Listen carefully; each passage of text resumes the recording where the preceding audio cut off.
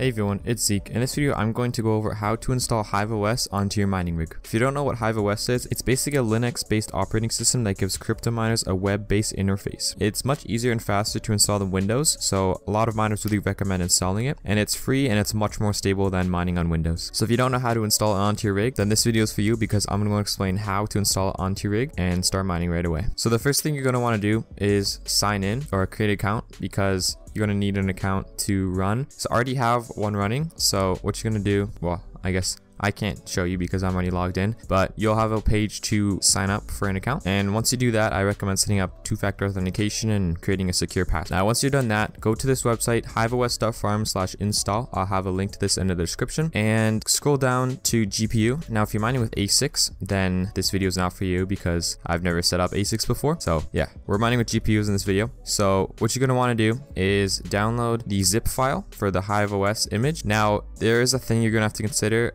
um, some people do better on beta images and other people's do better on the stable. So this is the stable version, this is the beta version. I tried installing the stable version on one of the rigs I was setting up and I had lots of issues where like the ethernet was not connecting properly. So I had to switch over to the beta version. So I recommend starting with the stable version. Just download the zip file and flash it onto your rig and try running it and if it is giving you any problems I would just do this whole process again and do the beta version instead. So the process is the same for both of them. So I'm just going to cancel this and once this is down, once this is downloaded, I'll show you how to set it up. While that's downloading, you're to head over to this website, balena.io slash etcher. And this is basically a software that takes the drive you just downloaded and flashes it onto a USB stick or an SSD that you're going to be using for your rig. So download for Windows and then wait for that to download. So once that's downloaded, I'll show you what to do next.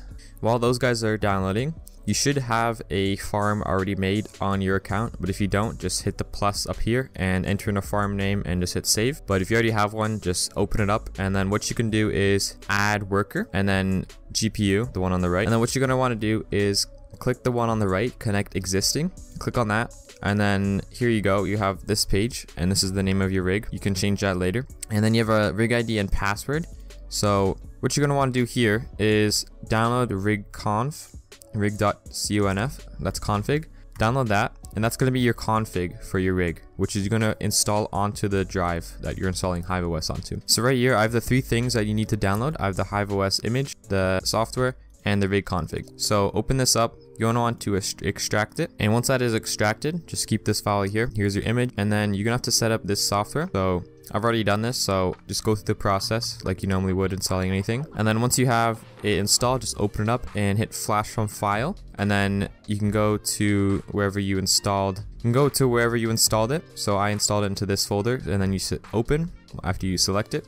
And then select target so depends on what you're using. So if you're using a USB drive to install this onto your rig and run it off, then you should just plug in the USB drive and it should pop up here. But if you're using an SSD, you just plug in the SSD that you're going to be using for your mining rig into your computer and then it should show up here. So I would be using like an SSD here. So just select it. It's gonna give you warnings because it's like a system drive. It's not an actual USB drive. And also it depends on what you're using to plug in the SSD. If you plug it right into your motherboard with the normal SATA cable, then it's gonna show up here. But if you're using like a USB 3 adapter, then it should show up like a USB drive. Now you can do it like this. It might not be as stable, but it does work for me. So just hit select and then it'll give you more warnings and just hit flash. Now it is gonna give you like another window. I'm not gonna do this because I don't want to get rid of everything on my SSD because this is one I actually use on my computer. But yeah, I'll give you a big window here. You just hit yes and it should work. And if you're using a USB drive, then it should just be easy to hit flash. It turns out I'm gonna have to flash it onto this. I don't actually use this drive on my computer, but I'm just gonna flash it anyways to show you guys for this tutorial. But just so you know, like when you do this, it's gonna erase everything on this drive. So make sure there's nothing on it that you actually need. If there is, just make a backup of it somewhere else. So I hit change target by accident. So I'm just to select this and then flash. And then this is what I was telling you about earlier. So instead of hitting this big yellow button, hit yes, I'm sure. And that'll start flashing it. And then it'll pop up this window. Just hit yes. And then it will start. So once this is done, I'll get back to you guys. This should take like a minute or so, depending on how fast your computer is. Okay, so once it's done flashing, I actually just went through a bunch of problems with this, but it'll say flash complete. If it's not, then you might have to try it again, but it should say flash complete. And then what you're gonna have to do is if you're using a USB stick or like an SSD that's plugged into a USB, you're gonna have to unplug it and then plug it back in and it should show up. But if you're installing it directly onto an SSD plugged into your motherboard with SATA cable, then you're gonna have to restart your PC. Don't change anything, just restart it right after it's done and it should pop up. So you go to your file explorer and then it should be right here. Now, if it's not, then just type in partitions and then go to your drive and then where it says Hive, just hit change drive loader and path and then change it to something that's like not anything else being used. So just hit C just to be safe and hit OK. And then it, it should show up after you refresh it. Now, if it doesn't show up here, comment down below and I should be able to try and help you out because I've always struggled with this and I just actually tried to get it to show up here while recording the video and it didn't show up. But I just got it now. So anyways, once you have that downloaded, go back to your config file, wherever you downloaded that right here, and then just put it right into the folder, the Hive folder. And then see how it says 3 here? You're to make sure it says just rig. Now it would be rig.config, but I guess my computer doesn't show like, yeah, it's a config file, so you don't have to type in, but make sure it's rig.conf, or if it's just rig, and then make sure it's config file. And that's your config. So it has your, your rig ID, uh, and your rig name, and then it has the password right here. So, yeah. Once that is done, all you have to do is plug it into your mining rig. Now, if you have a USB, it's simple. You just plug it into a USB port. If you have an SSD, just plug it into a SATA port with a SATA cable and make sure the SATA power is connected to it. And then before you boot the computer, make sure your Ethernet cable is plugged into it because like if you're going to be using Wi-Fi, which I don't recommend because Wi-Fi is just not very stable and you'll get less performance out of your mining rig. So just plug in Ethernet and then once the Ethernet is plugged in and it's a stable connection, you're going to start to boot your computer or boot your mining rig. And then after you let it run for a couple minutes, you should be able to see it on a Hive OS. So that account that you made with the config, it should, like right now, it will be offline, but once it's booted, this offline symbol should be gone and then you should start to see like this should show your uh, GPUs. So I don't have a new rig to be able to set up for this video, so I'm just going to show you what you do once it's running for my mining rig that's already running. So it should pop up here. You should see like your GPUs. You won't see any um, hash rate yet, but yeah, just go to your GPUs. And then this is my mining rig. It's been running for like a long time. I did reboot it a couple times, but yeah, the first thing you're gonna have to do is hit flight sheet and I have a couple flight sheets set up. So yeah, to manage your flight sheets, just up here, click on flight sheets. And then this is how you set up like the settings for your rig. So like what coin are you gonna mine, what wallet are you gonna mine to, what pool are you gonna mine with, and so on. So coin ticker, if you're mining Ethereum, just hit Ethereum. If you're mining ETC, click ETC. If you're mining NiceHash Ethereum, just hit that or Toncoin. There's every everything you can mine here is right here. So hit Ethereum, and then if you don't have a wallet, hit Add Wallet. Now, depending on what coin you're mining, you're gonna have to set up that. So I already have. If you have an Ethereum wallet, just paste in your Ethereum wallet address here, and then you can name this like Ethereum. Say it's a Coinbase wallet, just hit Coinbase wallet like that, just so you know what it is. It doesn't really matter what the name is, and then you don't really need to put this here. So I just leave it like that, and then yeah, if you have multiple farms, you can select this like so that you can have this wallet on multiple farms but if it's just one farm you're setting up then you can leave that off and hit create. So I already have a wallet so I'm going to show you using that. But yeah you'd put in your address here. And then you select it. So I'm using a Ledger Nano X. And then for pool Depending what you use, I if you're mining Ethereum, I would recommend Ethermine, which is this pool right here. Depending on where you are, if you're in Asia, just say Asia 1 or Asia 2, and if you're in the US, East or West Coast, I'm in the East, so I'm going to be using that. And if you're in Europe, you're going to say Europe. And then once you do that, just hit apply and then you have your pool setup and then for your miner this is like what mining software you're to be using. If you if you ever mined on windows before you'll recognize some It's just the name of the mining software. So if you're using all nvidia cards i strongly recommend t-rex miner. That's the one i always use. And then if you're using like amd only you just hit team red miner. And then if you're using like a mix of both then you can go with like GMiner nb miner. They're all pretty good basically. So yeah i'm just to use t-rex miner for the purpose of this. And then don't really do anything. I don't I don't do any dual claw mining. You can if you want. You can play around with it, but I don't do any of that. And then you're gonna want to name the flight sheet. So just hit like Ethereum, uh, Ledger, T-Rex. Just make up like something that you'd remember. If you ever change your flight sheet, this will be like a good reference uh, to use both of them. And then create flight sheet. And then once you have that, you'll have it right here, and you'll have the Ethereum, Ledger, T-Rex and then once it's created, go back to your worker, hit flight sheets, and then you can see the thing that you just created here. So Ethereum Ledger T-Rex, I already have a couple of them made already, and this is the one that's being used right now. So once it's created, you just hit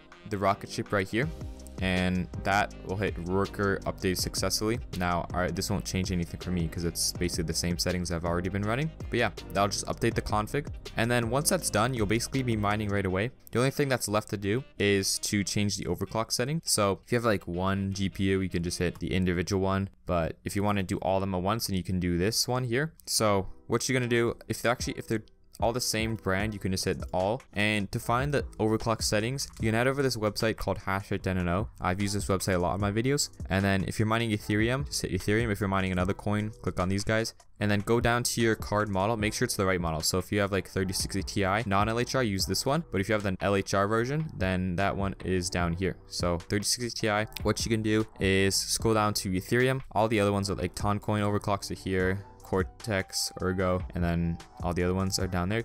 So Ethereum, here are the overclock settings you can use. Now I use a little bit of different ones, like I use the same memory clock and but I use different uh, core clock and I don't use power limit, which I'll explain over there. So yeah, you can find your, just like a reference point. Every GPU is different. You might want to start with low and then work your way up to medium. And if that works well, you can go up to high. But use this at your own risk because every GPU is different. They might not be able to handle the same overclocks that mine do. But basically for setting up overclocks, I'm going to be making a separate video on this that'll explain everything about it.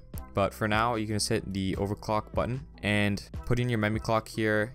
You want to have your fan, like your fan limit depends. So you can try auto, but your fans will probably be running a little bit hot. So you might want to try like 80 or something, or maybe 60, something around like 60 to 80. I just run them on 80 because I don't care about how loud they are. I just like cards to be cool. You can also do 100%. It really depends on how loud and cool you want your cards to be. And then you can put in your overclock settings here that you found on the website. So I these are like the settings I use for my GPUs, the 3060 Ti and LHR. It really depends on what you have. And there's also another option, popular presets.